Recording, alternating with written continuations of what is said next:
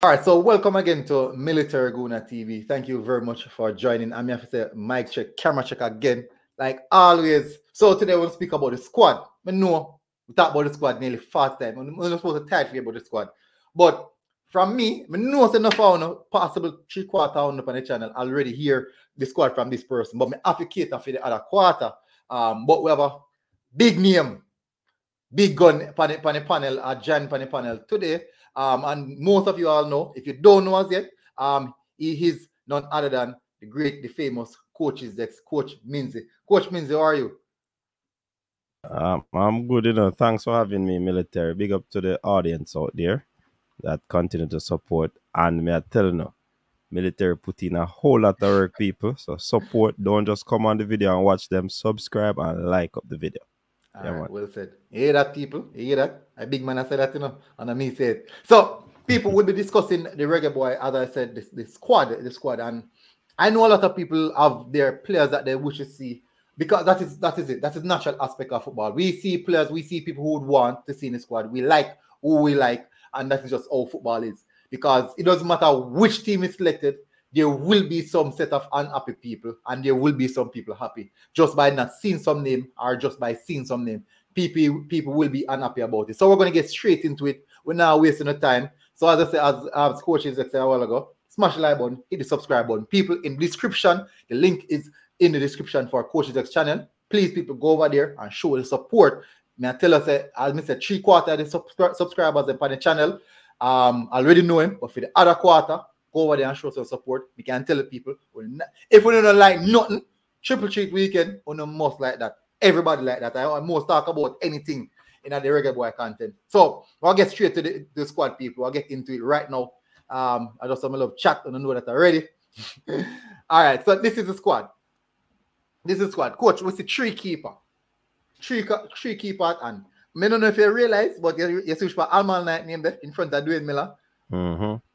is, is that, that is that saying that he's the second string? I JFF just do foolishness. just I mean, foolishness. I foolish said. I, I don't know what's happening with the rotation of the squad, mm-hmm. of the goalkeeper, sorry. Mm-hmm. But I mean, we had Dillon Barnes, we had um, um Jadine White, and we have Dennis Taylor. And Dennis mm-hmm. Taylor just suddenly out, out, of the team.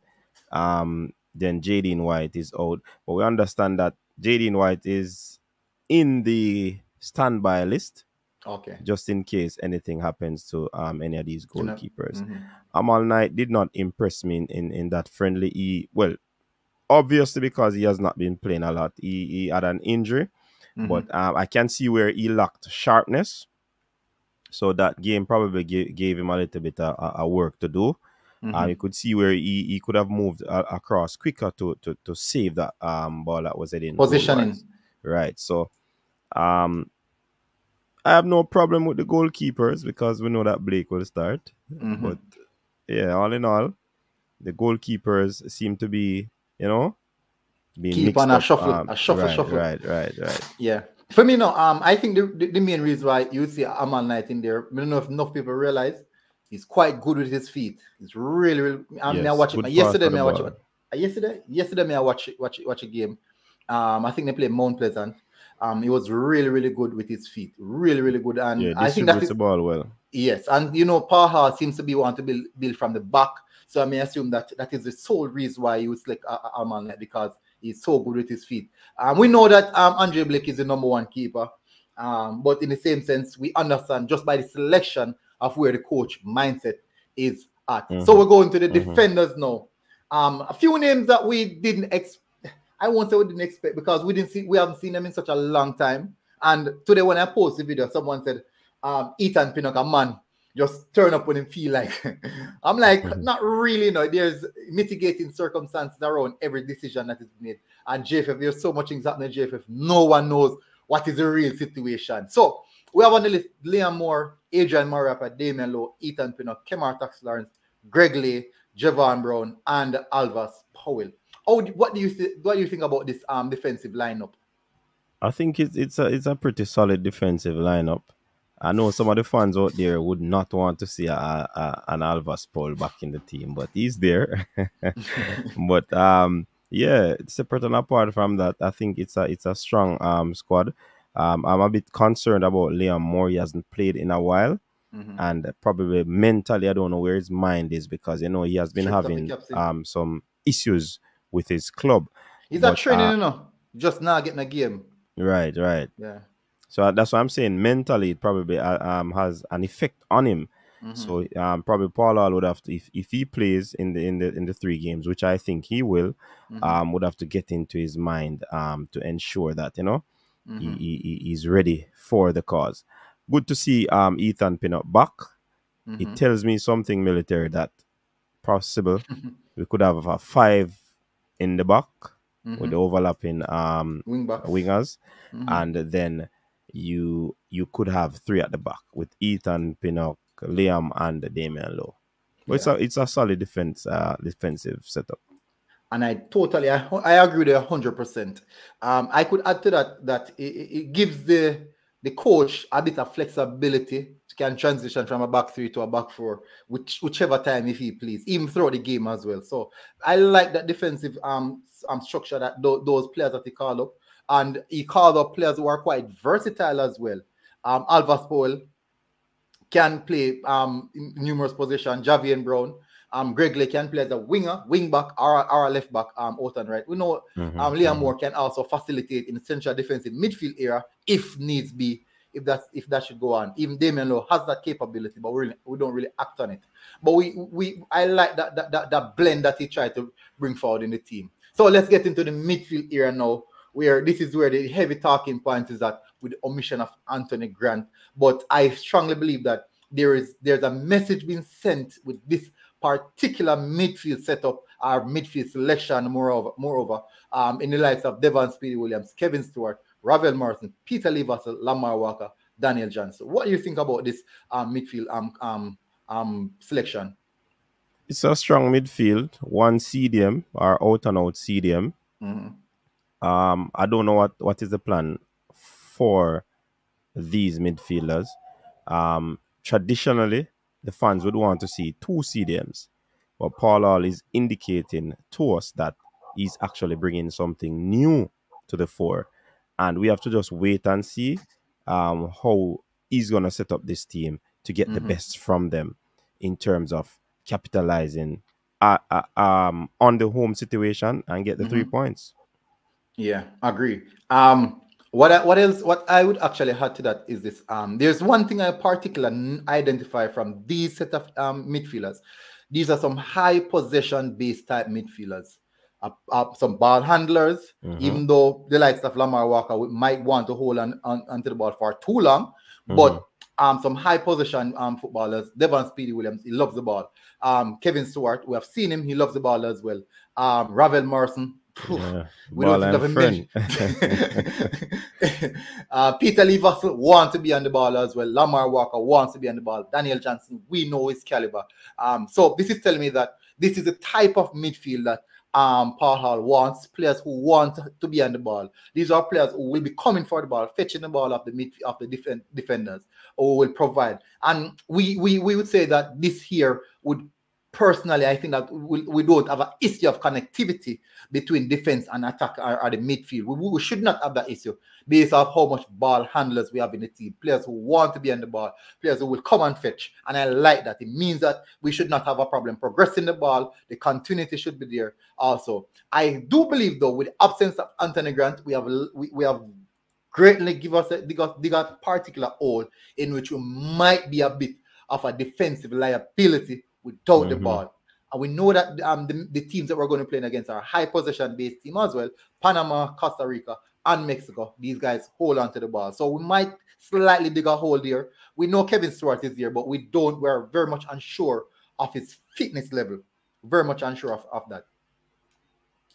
Um, so let's move to the strikers. Uh the attackers now, where the big guns are at. Junior Flemmings, Cory Burke, Javanis, Bobby Reid, Andre Gray, Michail Antonio, Big Mike. Yeah. I just call it, you call himself. Mick, Big Mick, Big Mickey. yeah. So I think about um, this attacking line. I think it's a good um attacking lineup and it in, in all of the the, the, the, the areas of the field, uh, military, I tend to see where a trend is developing, and I'm seeing a story coming from all of these things, mm-hmm. from the defense to the attack, the goalkeeper. Um, I'm seeing where Paul Hall wants to maintain the press, so he yes. select players that are able to give him what he requires or he demands from them on the pitch. Mm-hmm. Junior Flemming's high press. Cory Burke, him can't stop run. Jevon the same thing, even yes, though man. he's questionable coming into this team end by product, many. end product. Right, but but but at the Work same rate. time, he's gonna give us a good shift.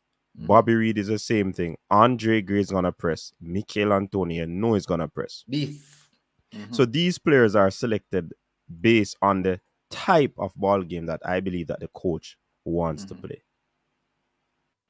I, agree with you 100% because uh, you look at the first game against Peru, um, we pressing on the first half, but we ran out of legs. The midfield ran out of legs in the second half, and since the midfield ran out of legs, they know the, the strikers are going to overwork. So entire team just mm-hmm. deteriorate, just as though the midfield deteriorate. And also, I, I, I, you, you brought across some very good points in regards to the work ethic that we're going to get from these type of players. He went for some workman like, um, what them call them heavy heavy metal type of strikers mm-hmm. who, who, who are going to work through the entire 90. And we, we, we, will we will need that. I think that the likes of Michail Antonio, the closest team, the closest person on that um attacking lineup would be Cory Burke in regards to the work ethic. Not saying the, the quality in regards to the end product and such, but work ethic Cory Burke is similar in regards to the work ethic. But mm. um, in the event that you know Michail is trying to manage Michail Antonio, give him a 60 minutes or 70 minutes here and there, you will see the likes of maybe a Michail uh, uh, filling in that gap um, to retain that same high intensity press and all. So um, so in, in the overall aspect, what do you what would you say about the squad on, on a balanced level and just the whole overall aspect of the squad? I'm a, I think it's a balanced team uh, uh, um, based on what the new coach will be doing. Mm-hmm. If we look at previous teams, we're going to be saying that it, it lacks wingers, out and out wingers, and all of that. But mm-hmm. obviously, this coach is not going to go through uh, go go that route. Mm-hmm. So uh, definitely, this is the reason why he picked these players. So I would say it suits what the coach wants to achieve, in in in in, in a nutshell. Mm-hmm. Well said, well, well put together. Um, always bright. I'm have bright man the people. I'm gonna bright man. People say I'm gonna talk smooth and eloquent. I love that, but I don't know. So people, um, you, you have you have heard it here. You heard it from coaches. That people. Don't forget to go over and smash the like button, people. Smash like button. Um, Cam seven. I'm never having names them up the banner. I'm gonna have names them up, man. So me, me know so now gonna say, oh, and display name people see the name there, go over, check over, check out the channel. The link will be in the description. The link will also be in the pinned comment section. Please go over there, people. Smash the like button. We really, really appreciate it, people, because they don't know. All of us are doing the work. Great, great work is being done here. We're trying to make Jamaican football great. That, that what trying to do. When you can cuss, you have to cuss and laugh and go on like say fart with a chat. But we can tell you what we have to know will be remembered because it has to start from somewhere. And this never gonna go on all long. Years this never gonna go on. And we're gonna make a change. We're here for a change. Jamaican YouTubers. But big up people, thank you very much for tuning in. Massive respect. Please remember, smash the like button, hit that subscribe button if you're here for the first time. And I will see you again. Until next time, we are out, people.